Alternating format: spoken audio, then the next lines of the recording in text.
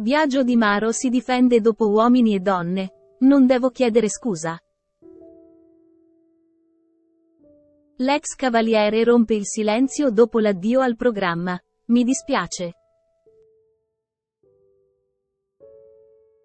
Biagio Di Maro un ex protagonista del Trono Over, si è lasciato andare a uno sfogo ai microfoni di Uomini e Donne Magazine, dopo essere stato cacciato dalla padrona di casa. Di recente infatti l'uomo ha dovuto abbandonare la trasmissione, dopo che Maria De Filippi è stata stufa di vederlo di continuo in delle situazioni non belle. L'escavatorista partenopeo che è convinto che le donne che ha conosciuto hanno avuto pregiudizi nei suoi confronti a causa di Tina Cipollari, non ha nascosto la sua amarezza per la sua uscita di scena. Mi dispiace per quello che è successo. Non sapevo nulla del passato di Carla. L'opinionista attaccata dall'escavatorista, mi ha complicato l'interazione con le donne. Dopo l'assenza a uomini e donne, il cavaliere Biagio di Maro era tornato. La sua esperienza non ha avuto lunga durata, visto che ha lasciato lo studio dopo lo scontro con Carla e essere stato gelato da Maria De Filippi. Il partenopeo in un'intervista rilasciata alla rivista della trasmissione, ha rotto il silenzio sulla dama, dicendo di comprendere la sua forte reazione.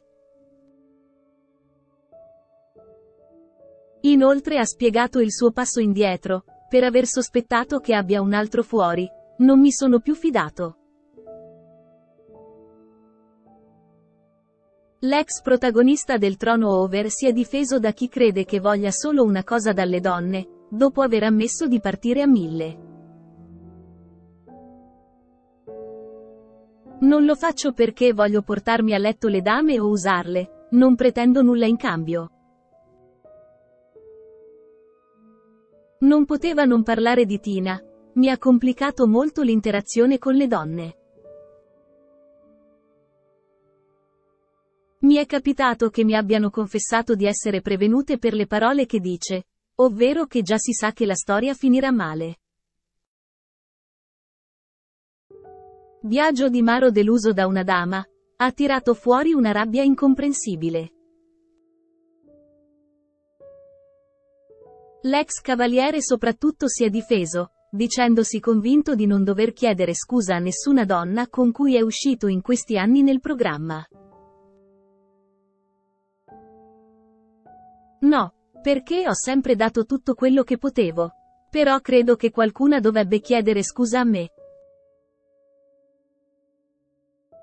Con queste sue ultime parole si è riferito a Silvia, precisando che non è vero che non ha dato valore a quello che si sono detti e al loro dolore comune di cui hanno tanto parlato, e non nascondendo la sua delusione. Ha tirato fuori una rabbia incomprensibile nei miei confronti. Forse il suo vero interesse fin dall'inizio non ero io.